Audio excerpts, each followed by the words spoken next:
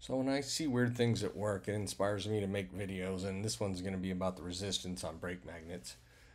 You can see here I'm measuring the resistance of this circuit at the seven way, the bottom two, one's the ground and one's the blue wire, your brake wire, and I'm reading about 1.2 ohms. So you should see about one ohm. Let's say if you were seeing three ohms, then that's probably telling you you're only seeing one brake magnet. So there's probably the wire's broken somewhere. I've seen them corrode and they break right out of the connectors.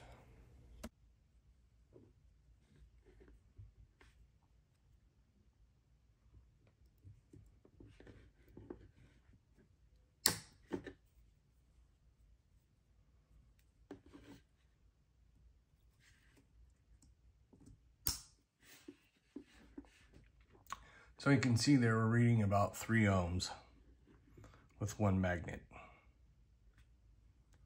Okay, and they're usually hooked up in parallel, so we'll start adding them.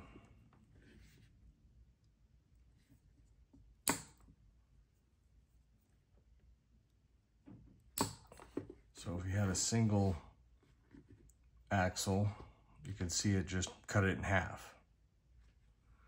Let's see what we get if we put all four on.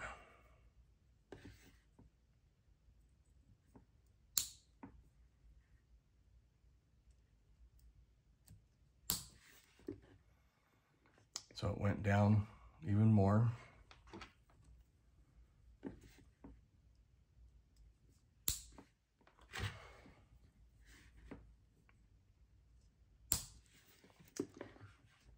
And down even more. So usually I see around one ohm. That's not counting for whatever resistance is in the wire that's actually in the trailer.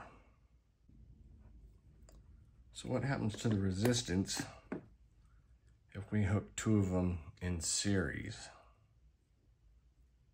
So we had three ohms with one.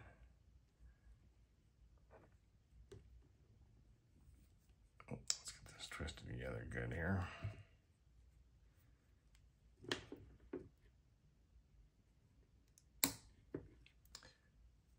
So when you put them in series, it doubles. Okay, so you can measure of your seven way and kind of get an idea if you've got a broken wire or something's going on with the magnet. I've never really seen a, a magnet can wear, but uh, usually I see the wires break off on them. So you can kind of get an idea what's going on by measuring at the seven way. So you can see here if I take a couple of resistors, we measure one, we're getting 1K. And if we put them in parallel, you get 0.5K, cuts it in half. Then if we put them in series, 2K. Just like what we were doing with the brake magnet. So the brake magnets have resistance, just like a resistor.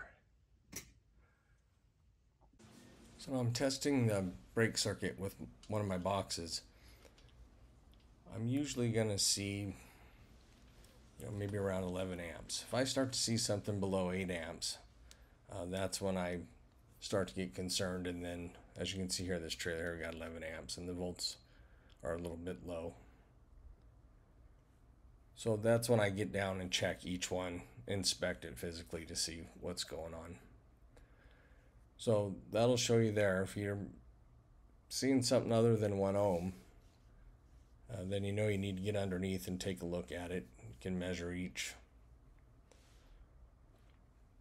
uh, each drum separately using an amp meter and see if you're getting the same thing at all of them.